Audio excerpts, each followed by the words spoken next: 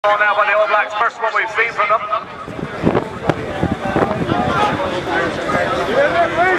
Inside the 22 and still going. Now options here, Marsh. Plenty of runners outside, Ralph is pace if he can find him. Inside, it's going to be a first try of the series and it's going to go to New Zealand.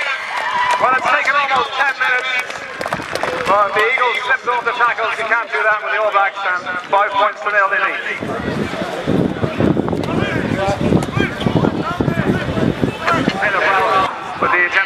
Going to drop goal.